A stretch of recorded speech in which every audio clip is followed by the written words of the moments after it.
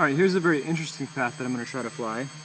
And the way that I've done my waypoint navigation uh, algorithm is very, very interesting, I think. So what's going to happen here is I've got a parameter here called lead distance.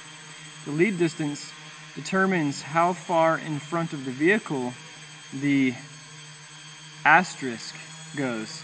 So there's the asterisk, and that's the target point that it's shooting for. That lead distance determines how far it looks ahead, which determines how the vehicle reacts as it touches these various points on the path. Is it going to round the corner? Is it going to look ahead and completely miss the corner? Or is it going to try to fly it? So the shorter the lead distance, the more it tries to stay on the, on the actual path. The longer the lead distance, the more it rounds the corners and softens the path, softens the corners and everything. So I'm going to go ahead and turn on my physics-based flight controller here with a commanded velocity of 2 meters per second and a lead distance of only 1.5 meters. And you're going to see that the vehicle follows the path pretty stinking closely. It's going to round that corner there. See, see how that lead uh, how that lead point works when you get to the corners. Boom! It just tracks the path around and helps the vehicle look and look ahead essentially to know where it's going to go. So again, small lead angle, or small lead distance I mean, and low speed. So it's able to track that path very nicely. So let me go ahead and show, you're going to see these corners coming up. Let me show what it actually looks like in person.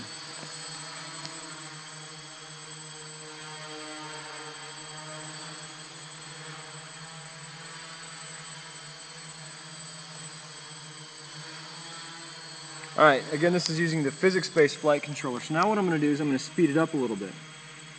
So let's go from a command of two to a command of three. Again, lead, lead distance of only 1.5 meters. Now watch, the vehicle is gonna drift out more. It's gonna come closer to my head also. It's not gonna follow the path quite as closely. And you're gonna see that it might be advantageous to soften the corners by increasing the lead distance so that the vehicle looks ahead even farther and doesn't make as many harsh and abrupt changes like this. Let me show this corner right here. This is interesting. Boom. Right away from where I'm sitting here. Alright, so let's go ahead and uh, increase it to 4. If it can't handle this, I'm going to have to turn it off by deactivating that physics-based flight controller right there. So I'm going to go ahead and hit enter now to activate that, that new command. There it is. If anything funky happens, I'm clicking that button.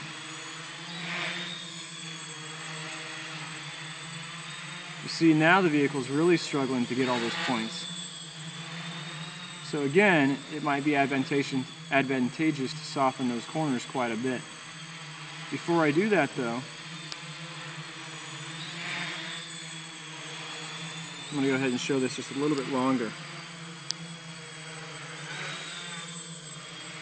Again, that blue arrow is the tilt direction and uh, magnitude.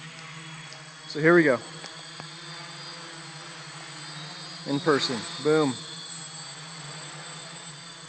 Trying to hit all those points on that path at a higher velocity is harder. So you notice the vehicle has to make a lot of abrupt changes.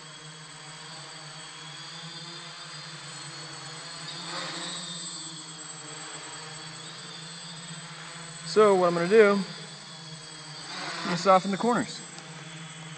So to soften the corners, I change the lead distance here from 1.5 to 2.5 meters.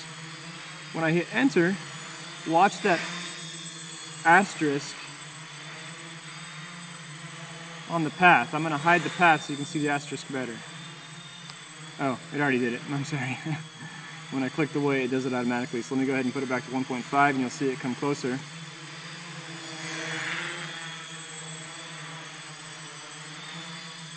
Now when I go to 2.5 and hit enter, you'll see it jump away a little bit. So let's get, let the vehicle catch up. There it is. And there it is. You saw it do a little jump. Anyway, the point is, now it's 2.5. So you're going to see the vehicle soften the corners a little bit. So that lead point jumps ahead. It just tracks that path, staying ahead at a perpendicular distance, uh, propagated down the path at a distance of whatever I command, which is in this case 2.5 meters. Now I'm going to go ahead and change that to uh, 3.5. Enter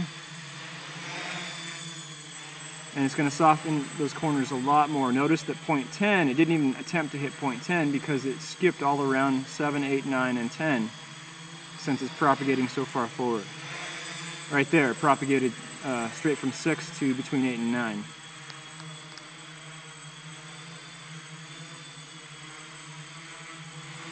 So let's say you have a user who makes a really dumb path with lots of points the vehicle can't track you have the ability to soften that by increasing the lead distance to prevent the vehicle from having an accident, crashing into a wall, exceeding its limitations, whatever. Let's show what this looks like here now. So notice it's much less abrupt. Instead of making multiple turns there at that bottom, it simply flies straight through. Right there, it used to have to jerk really hard. Now it's not doing nearly so hard. I'm gonna go ahead and see if I can speed it up. This room, the path is kind of large to speed it up much. Let's go to five. It looks like it's going to get close to that wall, too close. I'm going to go ahead and click this button, which will put, put it back to PID mode, make it a little bit safer. That looks pretty safe. So let's follow it around.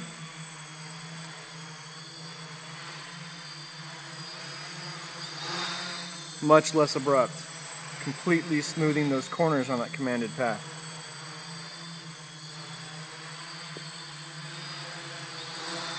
And that's the advantage of uh, what I call the look ahead navigation technique. Here's some of the parameters coming out.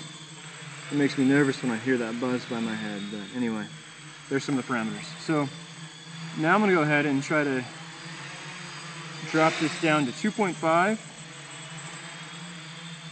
This is going to make it try to hit the corners more now, which is potentially going to exceed the vehicle's limitations because it's also being commanded to fly very fast.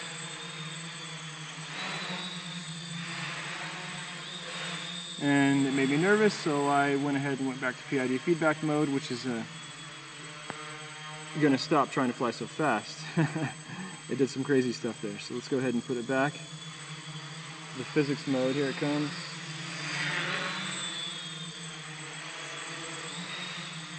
And it is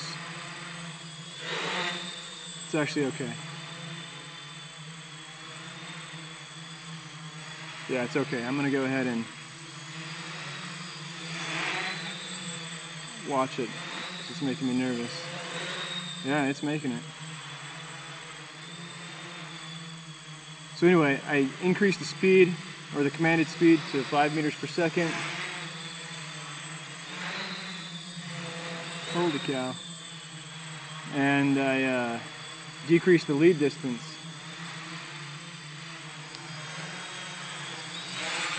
So let's watch that.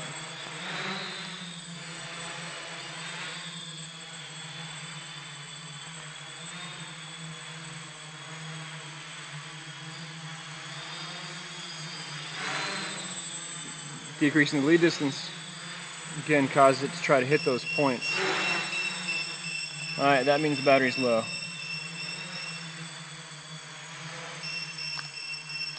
So I go ahead and bring it home and tell it to land.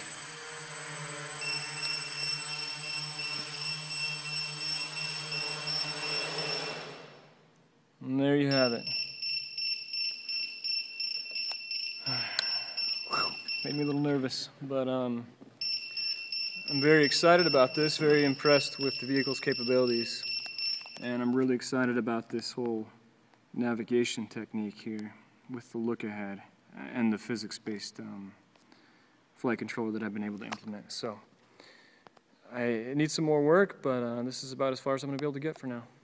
Uh, due to time limitations, it's time for me to move on to other projects and things. So, anyway, there you have it.